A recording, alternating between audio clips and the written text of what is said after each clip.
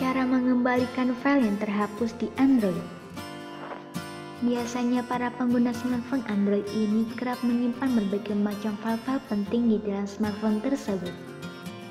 Namun jika Anda secara tidak sengaja menghapus file-file penting yang ada di dalam smartphone tersebut atau ingin mengembalikan file-file penting yang dulunya sempat terhapus, jangan khawatir karena ada beberapa cara yang bisa membuat file milik Anda yang sudah terhapus tersebut kembali lagi.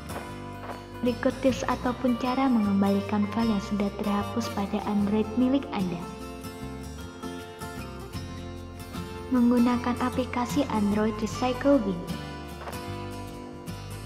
Untuk cara mengembalikan file yang sudah terhapus pada Android yang pertama adalah dengan menggunakan aplikasi Android Recycle Bin di mana aplikasi ini sendiri bisa membuat file-file penting milik Anda yang tadinya terhapus secara sengaja ataupun tidak kembali lagi.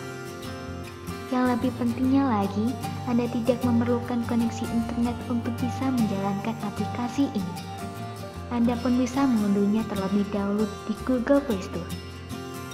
Meskipun aplikasi ini terbilang cukup sederhana, namun kemampuannya untuk merestore pun tidak perlu diragukan. Keuntungan lainnya menggunakan aplikasi ini adalah tidak boros penggunaan baterainya. Menggunakan aplikasi Digger. Berikutnya, Anda bisa menggunakan aplikasi dari Digger, di mana aplikasi ini sendiri tak perlu Anda install karena aplikasi ini sendiri berbasis portable. Caranya pun sangat mudah sekali. Anda bisa mendownload aplikasi ini di Google Play Store, lalu Anda buka aplikasinya langsung tanpa harus menginstalnya terlebih dahulu. Pada menu awal, Anda bisa memilih pilihan memory card, lalu Anda tentukan file apa yang ingin Anda kembalikan. Setelah itu Anda bisa tekan OK. Sangat simpel sekali namun bermanfaat untuk mengembalikan file-file milik Anda yang hilang tersebut menggunakan aplikasi Dumpster.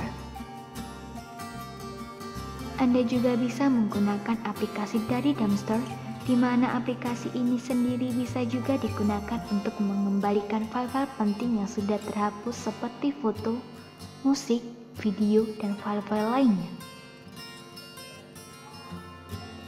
Beberapa dari cara mengembalikan file yang sudah terhapus pada Android ini bisa Anda langsung coba sendiri untuk mengembalikan file-file milik Anda yang terhapus secara sengaja maupun tidak tersebut. Semoga informasi tersebut dapat bermanfaat. Jangan lupa untuk klik subscribe untuk mengetahui video terbaru dari kami.